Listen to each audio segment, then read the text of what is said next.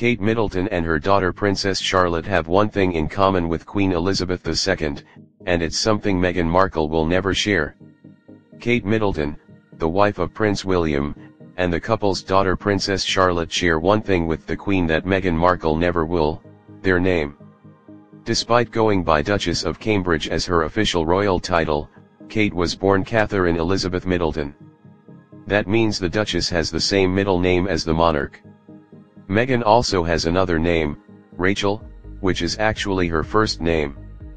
Before she married Prince Harry and became Duchess of Sussex her full name was Rachel Meghan Markle. Kate has also chosen to share the name Elizabeth with her daughter Charlotte.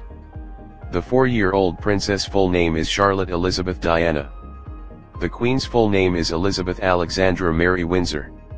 Elizabeth is a feminine given name derived from a form of the Hebrew name Elisheva, meaning my God is an oath.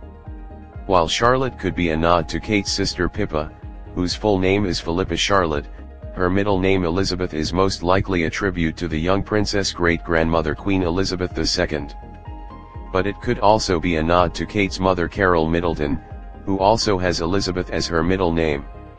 As for Diana, it was the name of Prince William's late mother, who died in a car accident in 1997.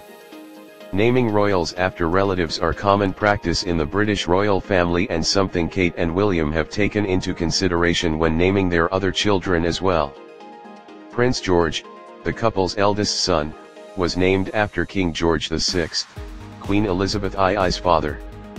It's a name that extends back to the 12th century, and it's also one of William's father Prince Charles's middle names. George's full name is George Alexander Louis and Alexander pays homage to his great-grandmother, the queen whose middle name is Alexandra. The name Louis seems to be inspired by William's grandfather's side. Prince Philip, the queen's husband, had an uncle named Louis, who was Lord Mountbatten. That name appears to have stuck with the Duke and Duchess of Cambridge.